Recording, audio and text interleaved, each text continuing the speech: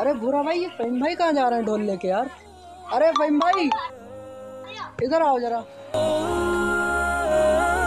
हाँ भाई बताओ क्या कह रहे अरे फहीम भाई ये ढोल लेकर कहाँ जा रहे हो?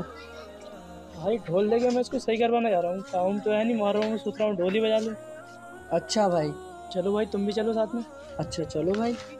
Akbar. अरे भाई अजान हो रही है नमाज़ पढ़ के चलते हैं। अरे नहीं भाई मेरे पास टाइम नहीं है जल्दी जाना है। मतलब आपके पास इन हराम कामों के लिए टाइम है नमाज़ पढ़ने के लिए टाइम नहीं है। क्या भाई यार उल्टी बातें कर रहे हो यार। भाई उल्टी बातें और उल्टे काम आप कर रहे हो। ये मुहर्रमदारी करना हराम है। मुहर्रम में लोग ढोल बजवाते आलम निकालते ये सब हराम है। हमारे इस्लाम में जायज़ नहीं है ये। आपको समझा रहा हूँ मैं और आप लोग भी याद रखें, ऐसा कुछ ना करें। मुहर्रम में सिर्फ़ फातिहा पढ़वाएँ और लंगर करें।